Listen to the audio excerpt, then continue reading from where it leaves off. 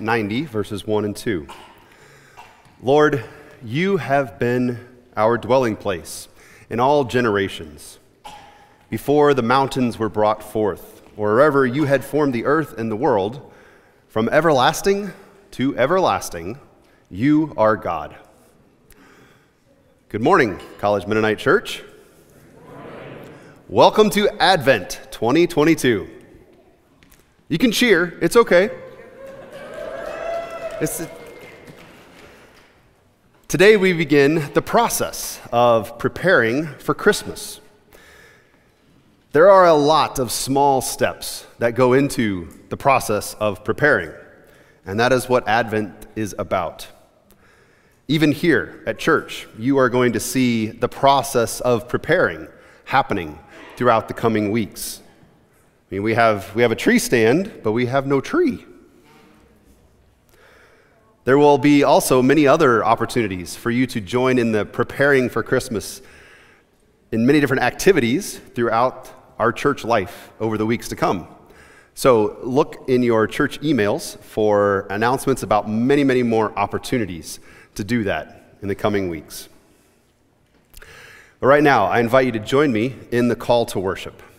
And the last phrase of this call to worship for Advent, we will say in both English and Spanish. We watch and we wait for you.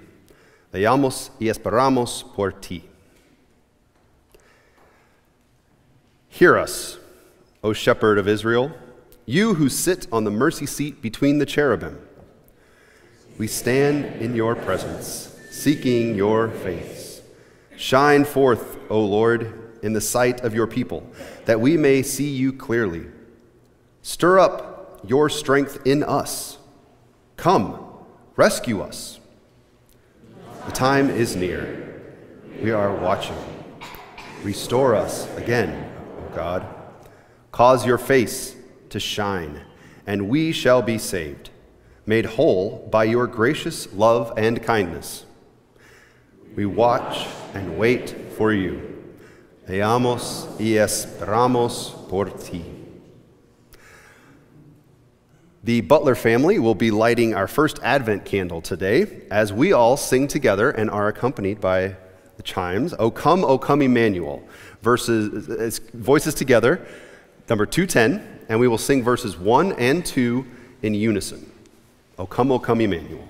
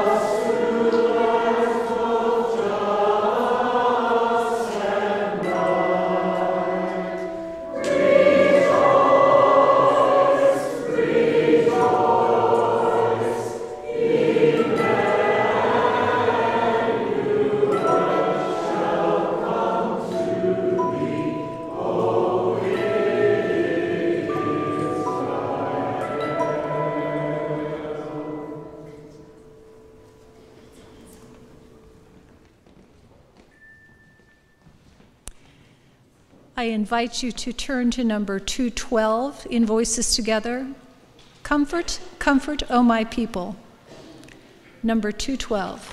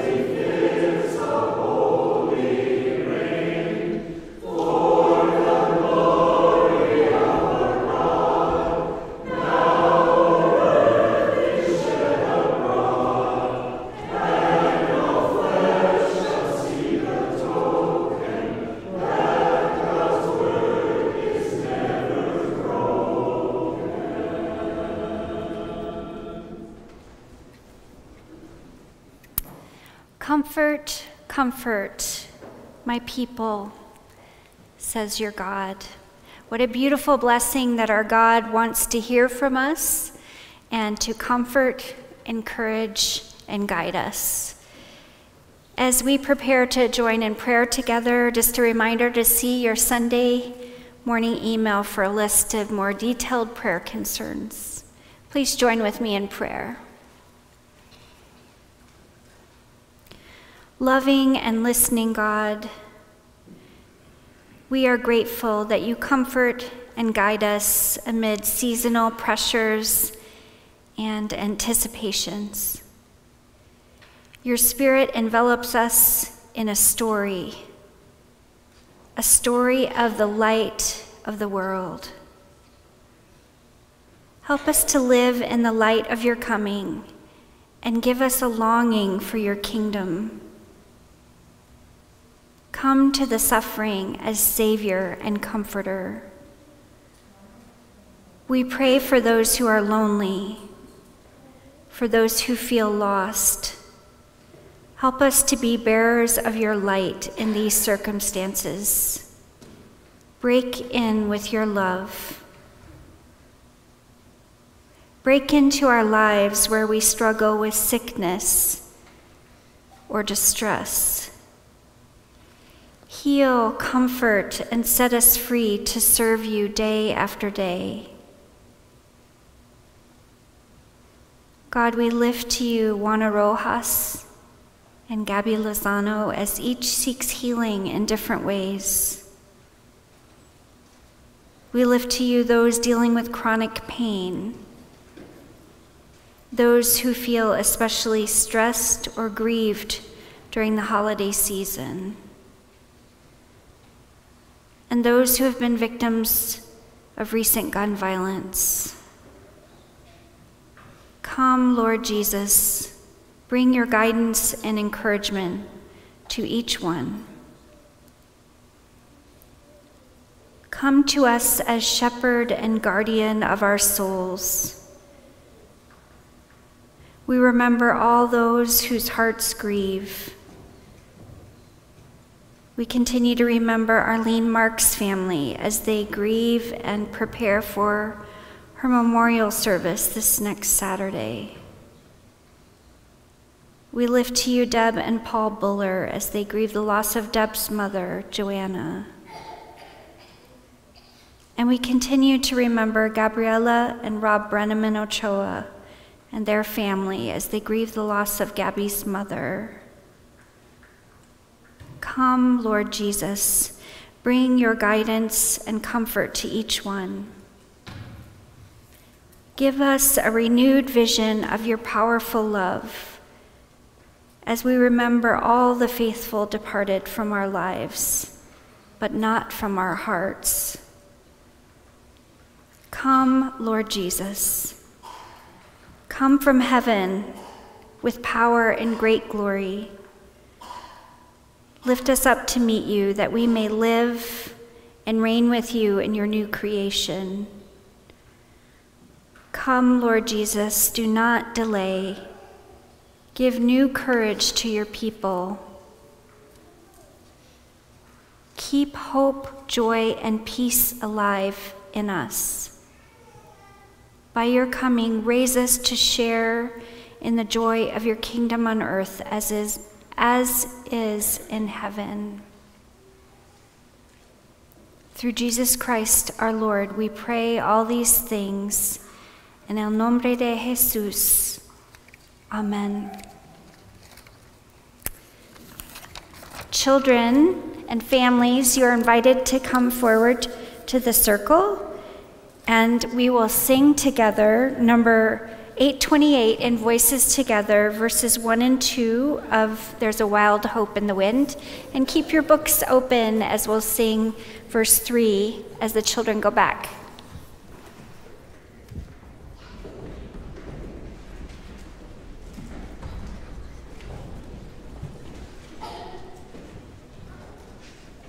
Do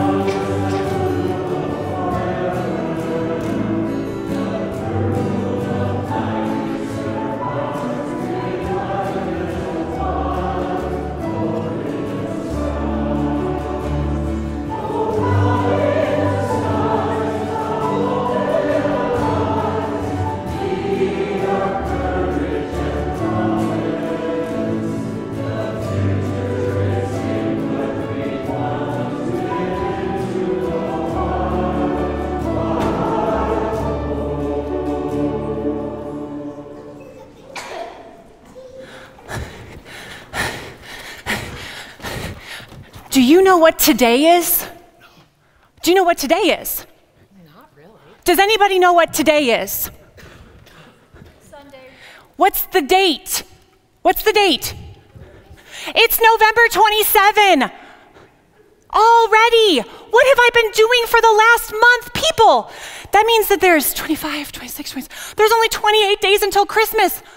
Come on, folks, where's the tree? We only have 28 days until Christmas. I should have started a long time ago. I have so much to do. Uh, we need to decorate. We need to, I need to go shopping. I need to start wrapping gifts. Oh, I kind of forgot that we have Christmas plates and placemats. Oh, we have so much to do. I, I don't know that I'm going to have time this year. Oh, I need to, oh, we got to fill this thing up. Alexa, add tiny candies to the shopping list. Good. Oh, I hope our lights work. What is the chance that our lights work? Oh, the Christmas letter. Oh, why did I ever decided we needed an album for the Christmas letter? Do you think anyone will notice if I skip 2022 and we just jump from 2021 to 2023? I don't know. There's just there's not enough time. Ah, we need teachers' gifts. Alexa, add teachers' gifts to the shopping list. Um, we need to hang the stockings. Uh, the kids are going to want to make Chex Mix. Alexa, add Chex Mix supplies to the shopping list. I just, there is so much to do for Christmas. And I'm not a dad, so I can't speak for dads.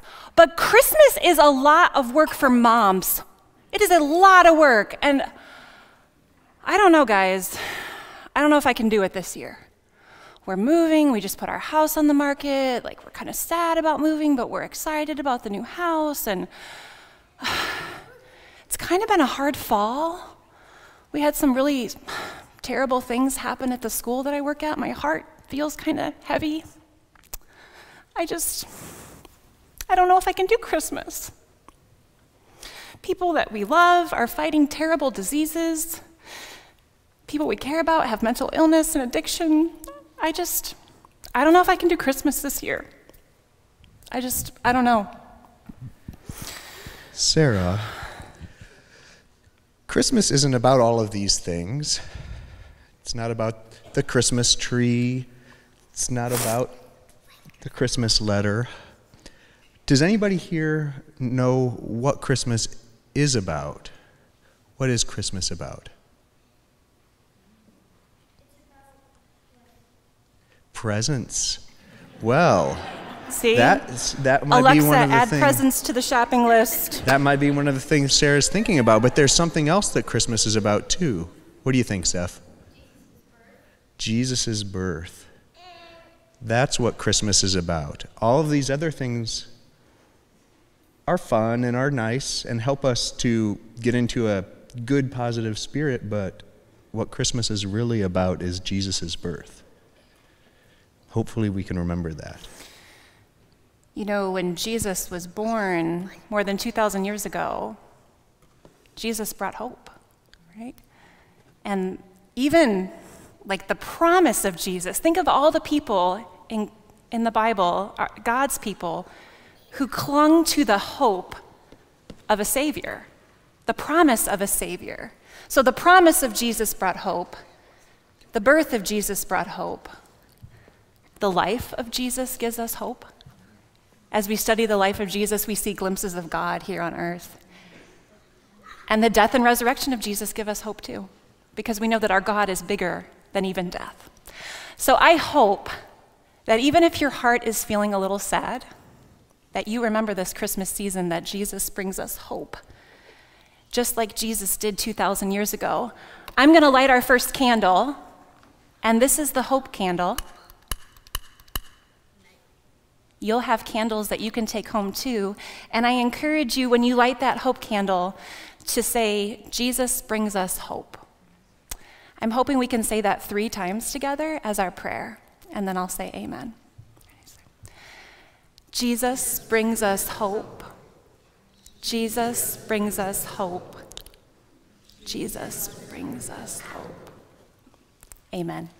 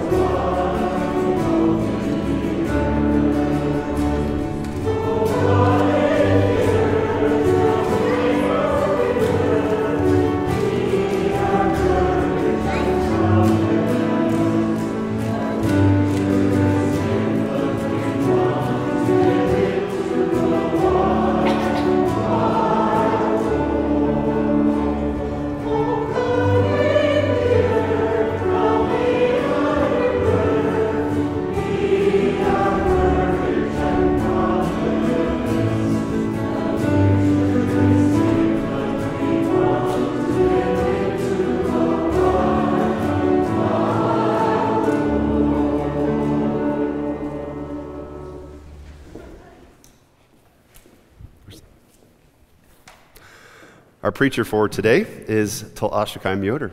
Please join me in a prayer of blessing for Talasha and us in this time.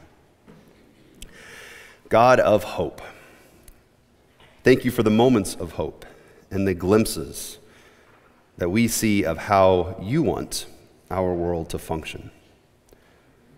Because too often we see too many actions that are not as you want them to be. In this moment and in the days to come, may the words of Talasha's mouth and the meditations of our hearts lead us to hope filled actions of love for our friend, our neighbor, and our enemies. In Jesus' name we pray. Amen. Our scripture for this first Sunday of Advent comes from Isaiah 2, verses 1 through 5. The word that Isaiah, son of Amos, saw concerning Judah and Jerusalem. In days to come, the mountain of the Lord's house shall be established as the highest of the mountains, and shall be raised above the hills. All the nations shall stream to it. Many peoples shall come and say, Come, let us go up to the mountain of the Lord, to the house of, ja- of the God of Jacob, that he may teach us his ways, and that we may walk in his paths. For out of Zion shall go forth instruction and the word of the Lord from Jerusalem. He shall judge between the nations and shall arbitrate for many peoples. They shall beat their swords into plowshares and their spears into pruning hooks. Nation shall not lift up sword against nation, neither shall they learn war any more. O house of Jacob, come let us walk in the light of the Lord. The word of the Lord. How many peace initiatives have been started and inspired by that passage? It's a familiar one. That swords into plowshares imagery is powerful. But you know, we just read the pretty part of this passage. If you keep reading, you're going to see that that house of Jacob that was so warmly invited to come and walk in the light is pretty heavily indicted. There are accusations of idolatry, of storing up riches, of what one translation called human haughtiness. Ouch! This passage comes at a moment of history. And that moment of history is a time of warfare and destruction. It's a time when Jerusalem is under siege. Nations were battling to see who was going to be in control, who would be the global superpower of the day. And the poet prophet of Isaiah seems to blame the leaders of Israel for the calamity. They were idolatrous improper stewards, seeking wealth and power rather than the welfare of the people. Things were bad. Things were really bad in the world behind this text. As I was preparing for today's sermon, I thought, haven't I said this before?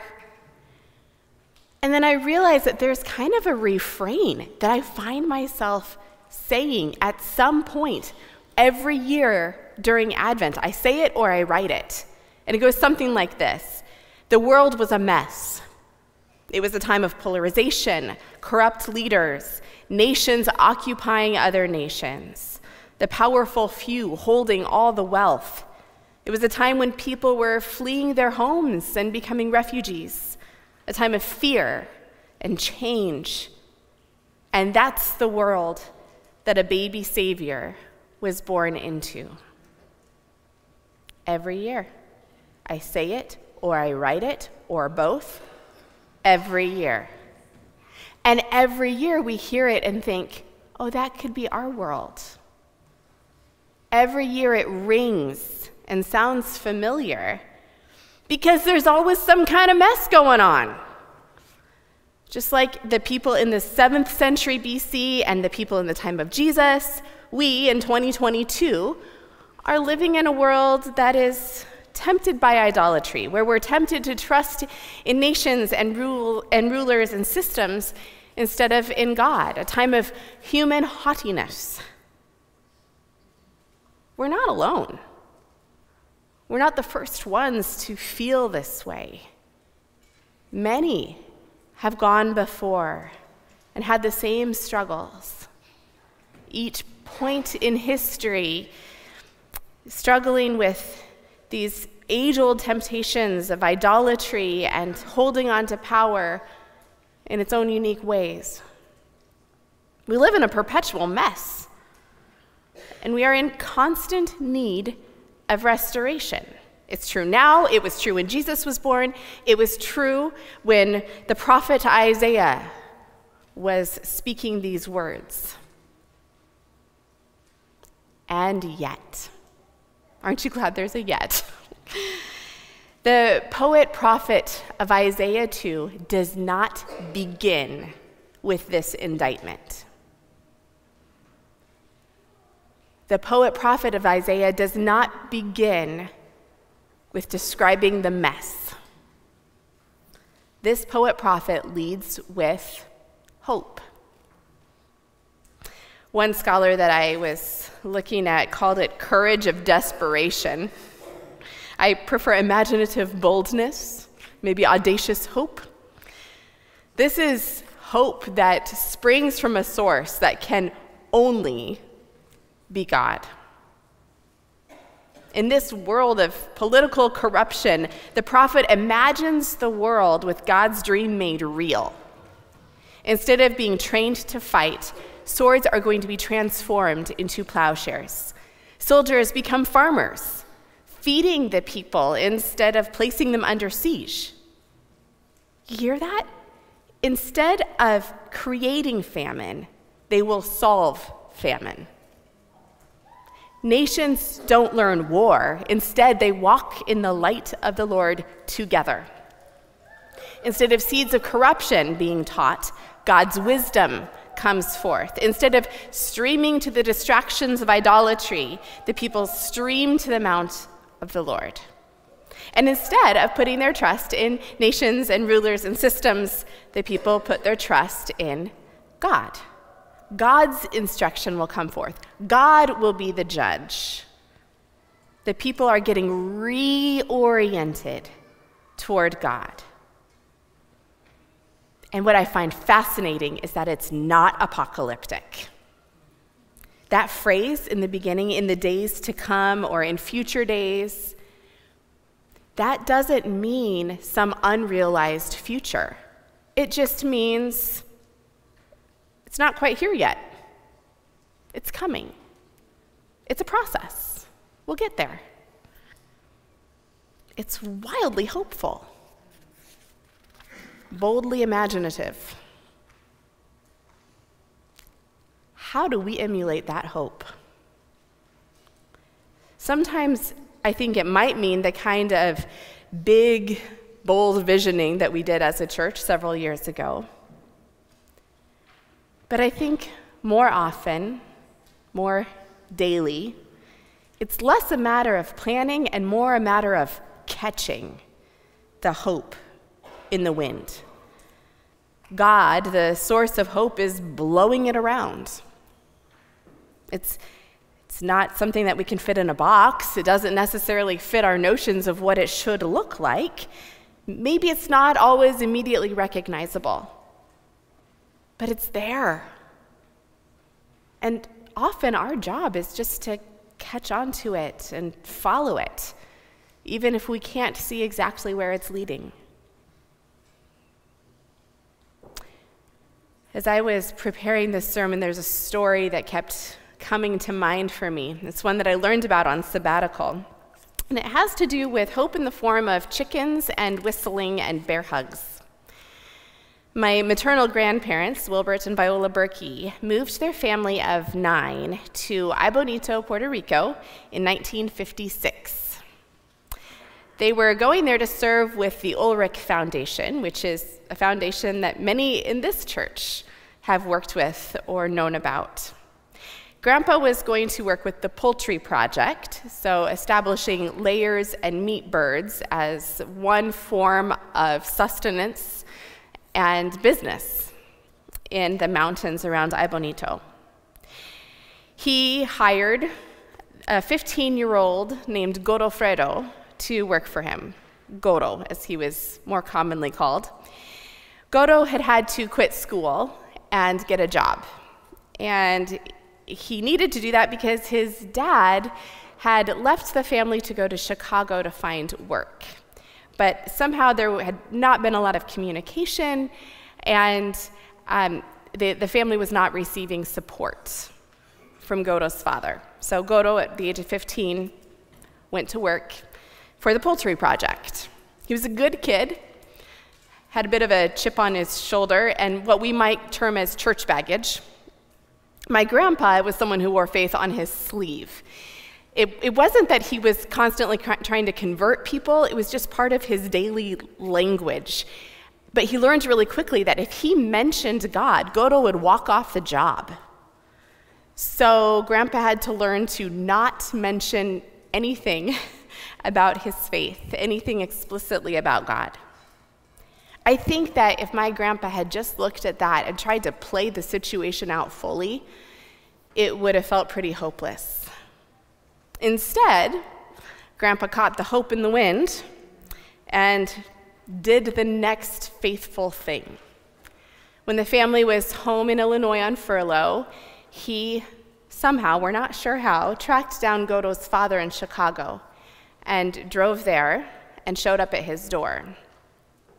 He handed Godo's dad a plane ticket, a one way ticket to Puerto Rico, and said, You need to go home to your family. And if you go home to your family, I will give you a job until you can find another one. Godo's father used the ticket. He came back to Aibonito. He worked for my grandpa and then found another job.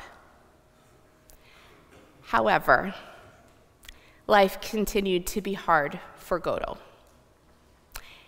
And that is the last my grandpa knew of the story until 1988. In 1988, my Uncle Merv and his family, my mom's older brother, served in Puerto Rico for a year. They were at Betania, a Mennonite school that, again, is near and dear to some in this congregation. Now, Merv had been warned never to open his door late at night.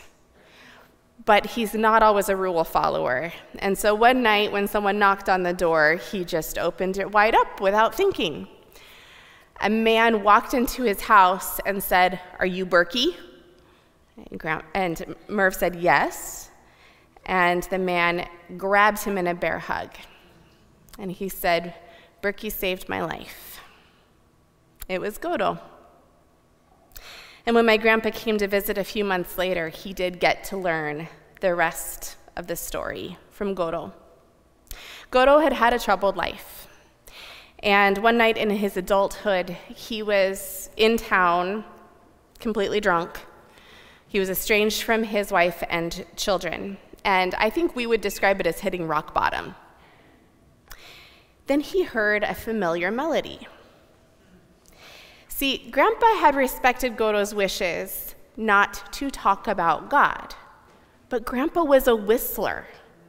So when he was in the chicken houses, he whistled. And what songs did he know? Hymns, right. So that drunken evening, one of those hymns was drifting out on the wind from one of the churches.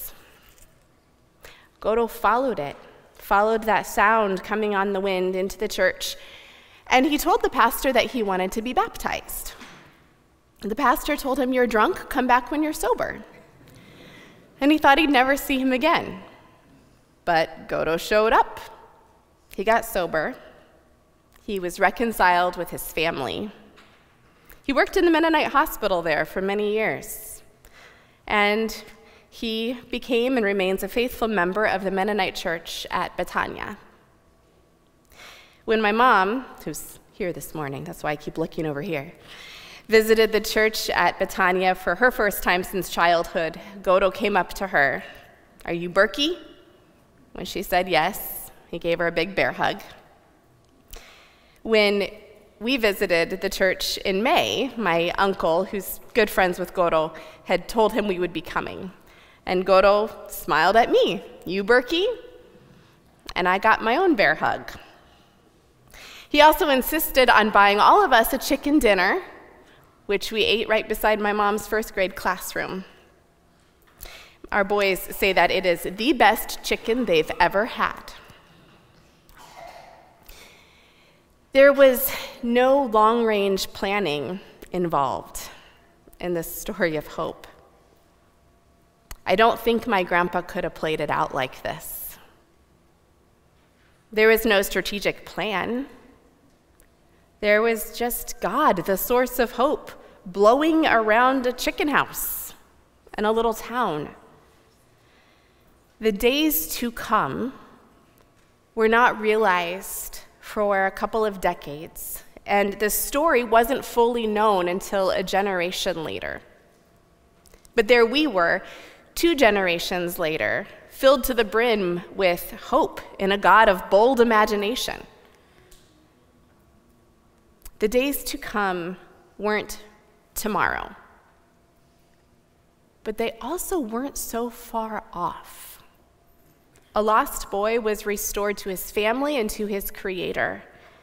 And my grandpa got to see hope fulfilled. My children got to experience the power of hope and of acting faithfully, even though they never even knew their great grandfather. Restoration hope in chickens and whistling and bear hugs. Our theme this Advent season is Restoration is Near. Restoration is a process. I promise the tree is coming. And restoration is perpetual. We partner with God in a constant restoration project.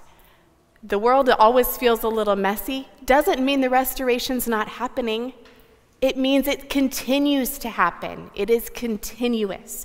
We are continuously grinding swords into plowshares, continuously learning peace, perpetually turning our ears away from the siren call of individualism and toward the wisdom of God, constantly redirecting our steps from the ways of idolatry to the mountain of God always reorienting from trusting in systems and rulers and nations to trusting in God.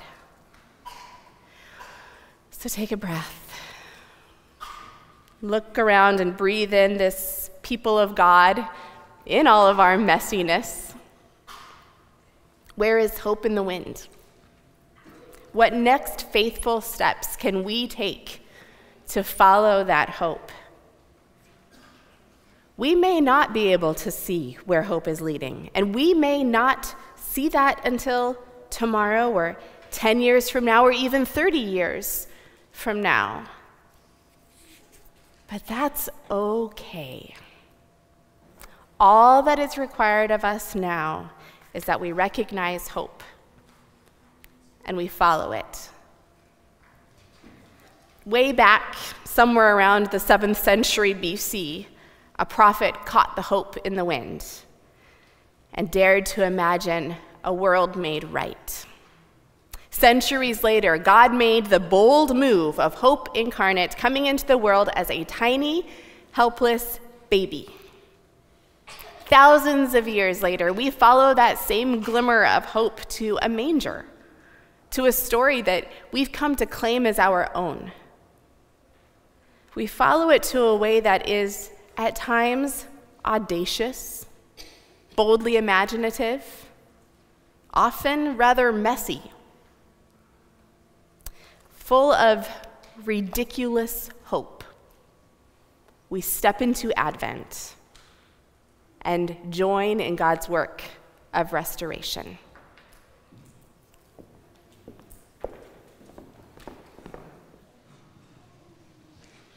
Thank you Talasha, for reminding us that hope is something that we step into and wait.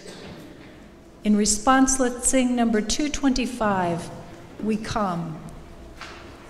Number 225, We Come. And I invite you to stand in body or in spirit as you are able.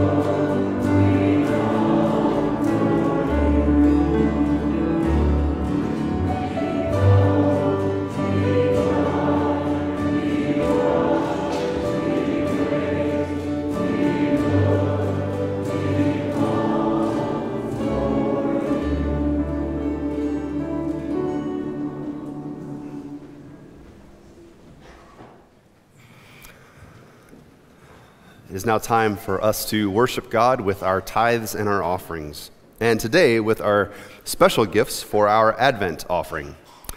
Each week of Advent this year, you can bring offerings of winter clothing that will be given to people who are new to our church community, who are experiencing this climate and experiencing winter for the first time.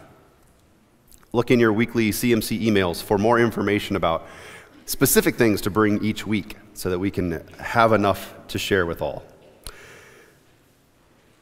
I invite you to bring your regular offerings up to the baskets that will be here and your Advent offering up to the basket at the tree stand as we sing together our offertory.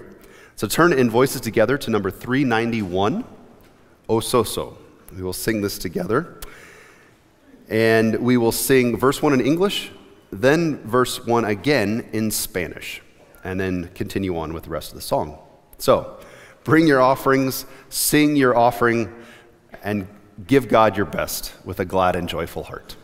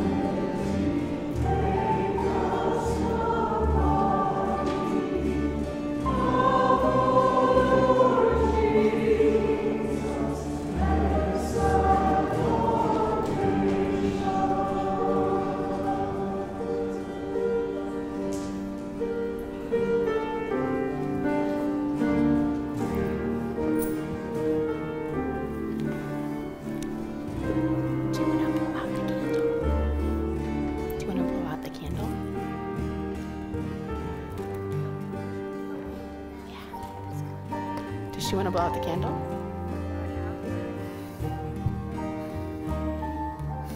Oh, it's hard, isn't it? Gosh, thank you very much.